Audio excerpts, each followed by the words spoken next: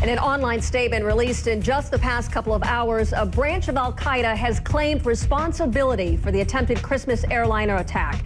It says it was payback for alleged U.S. strikes in Yemen. Our CNN Pentagon correspondent Barbara Starr joins us now. Barbara, it appears that more and more what we're seeing is activities out of Yemen when it comes to Al Qaeda, a, a more serious threat against the United States. What do we know? Indeed, Suzanne, this has been a worry now for some time. Already, the Pentagon is funneling about $65 million a year to Yemen to fight Al Qaeda, but behind the scenes, there is much more going on. This is the front line in the new U.S. funded secret war against Al Qaeda terrorists and training camps here in Yemen. Al Qaeda now claiming the attack against Northwest Airlines Flight 253 was in direct retaliation. CNN has confirmed U.S. involvement is deepening in Yemen. In recent weeks, several airstrikes, an Al Qaeda operative eulogizes fellow fighters. A Yemeni official tells CNN shortly after this, the man is killed in yet another raid. General David um, Petraeus sounded warnings months ago. And, uh, that's where Al Qaeda in the Arabian Peninsula has established its headquarters. This is a concern. In recent months, both General Petraeus and John Brennan, President Obama's top counterterrorism advisor, personally warned Yemeni President Ali Abdullah Saleh that Al Qaeda was targeting his inner circle. A senior U.S. official confirms to CNN that intelligence agencies and military special operations teams are helping Yemen, providing intelligence, training, and weapons. U.S. officials say they gave Yemen intelligence on Al Qaeda targets, but won't say if American warplanes or armed drones conducted the recent strikes. Senator Joe Lieberman offered one of the few public hints.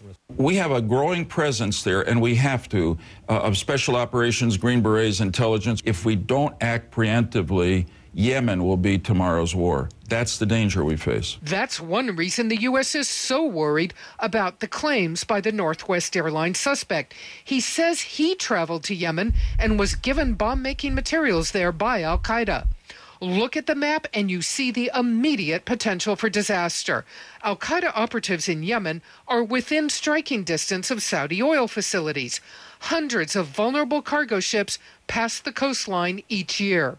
One reason Al Qaeda has established Yemen as its safe haven the battling tribal rebels in both the north and the south. There is a very real sense that the central government is losing control over most of the country. And a senior U.S. official tells CNN that in recent weeks, President Saleh has done a turnaround in Yemen, that he is now willing to accept more U.S. help because he has now come to understand the situation in his own country fighting Al Qaeda has grown dire. Suzanne? Thank you, Barbara. I want to bring in our CNN national security contributor, Frances Fragos Townsend, the former Homeland Security Advisor to President Bush. Fran, thanks for, for joining us here. Al Qaeda in Yemen now claiming responsibility for this attack. You've dealt with them before, going back to 2000 when you had the, the USS uh, bombing, the U.S. Cole bombing. Is, does the Bush administration bear any responsibility at this point that we're still dealing with Al Qaeda in Yemen?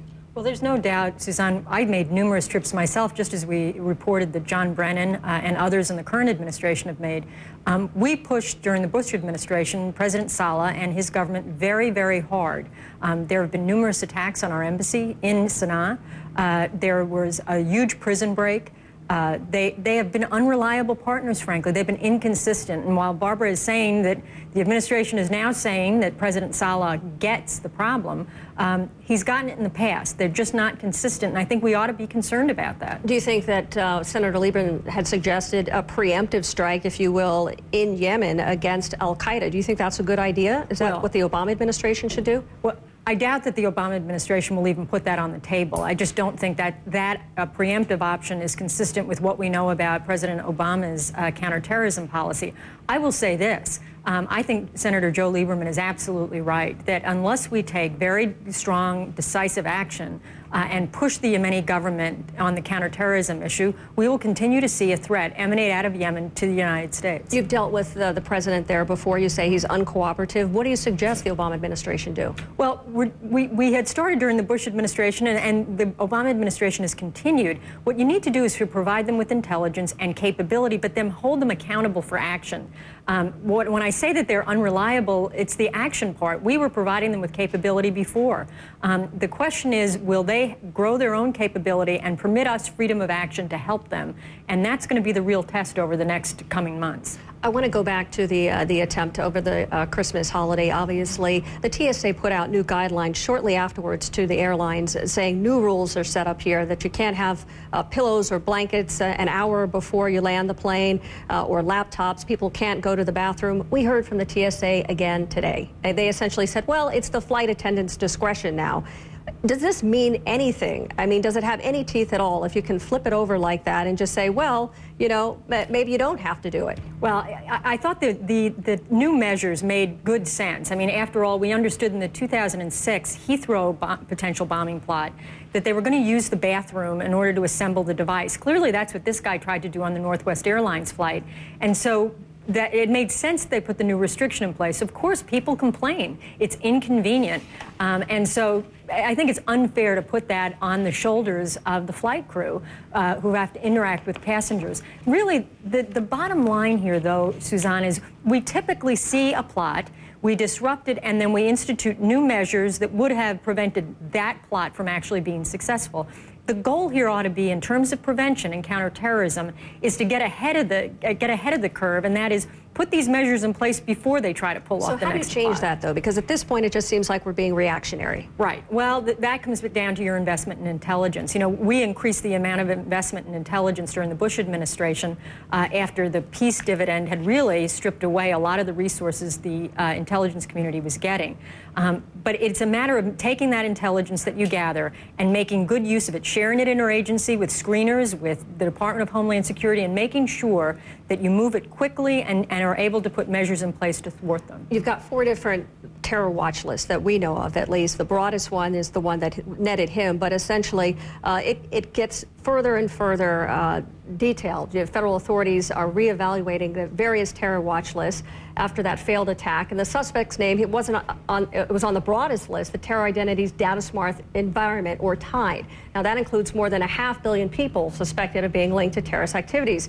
It is run by the National Counterterrorism Center. Now, the FBI, it has a more consolidated version of that list with about 400,000 people. It's called the Terror Screening Database, or TSDB. Now, your name can be on either one of those lists, and you still are not going to be required to have any additional screening at the airport. Extra screening doesn't kick in until your name pops up on this list. That's the Transportation Security Administration has this selectee list of 14,000 people. There's a much smaller group yet, fewer than 4,000, who are on the TSA's no-fly list. That's designed to prevent known terrorists from getting on the plane. So you got all of these lists here. If you don't net the guy who is the most dangerous, what what good is all of this? Well, that, that's right, and and that's I think why you've seen the president come out today and order a review of the watch list process. Um, John Brennan, who's his Homeland Security advisor, was in government during the prior administration and helped set this system up. So he understands very well the standards that apply to get on each of these lists. Obviously, this doesn't work. To your point, if this guy gets on with high explosives, the system isn't working, and it will be the responsibility of John Brennan and, and Secretary Napolitano to make sure that the standards are right that to be adjusted to make sure you do net the guy before he tries to get on with high explosives. What does somebody need to do to get on the no-fly list? Well, it, it, there's a whole criteria, but it, in, in, essence, Suzanne, you have to be uh, known to have information. There has to be information in the system that suggests that you are a direct threat to aviation, not that you are just an extremist or a radical, but that you are, for some reason, they expect you are a threat to aviation security. Um, and obviously, this was uh, the information from his father was not specific enough to cause somebody to put him on that list. Of course, people will go back and examine that decision uh, because we were obviously didn't get it. Okay, Fran Townsend, thank you so much for joining us. Appreciate your insights.